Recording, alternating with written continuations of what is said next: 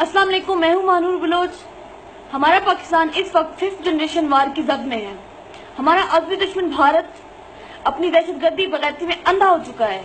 ये गाय का पेशाब पीने वाले, घटिया गलीज लोग डिस इन्फॉर्मेशन के ज़रिए सोशल मीडिया पर झूठी बातें, झूठे प्रोपिगंडे फैला रहे हैं और बलोचिस्तान की आज़ादी के बारे में बात करते हैं।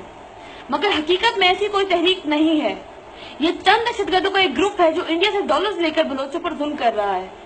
یہ نام نہاد دہشت گرد کبھی کسی غریب مزدور، کسی غریب بلوچ کو قتل کرتے ہیں اور کبھی عراق اور شام کی تصویریں اٹھا کر پروپیگنڈے بناتے ہیں۔ ہم بلوچ پاکستانی ہیں، ہمیں اپنے پاکستان اور ہمیں اپنی فوج سے بہت محبت ہے۔ ہم سب کو مل کر بھارت کی اس پروپیگنڈے کو ختم کرنا ہے۔ یہ کشمیر خالستان اور بھارت اقلیتوں پر ہے اور اپنے ظلموں پر پردہ ڈالنے کے لیے اس طرح کے پروپیگنڈے تیار کرتے ہیں۔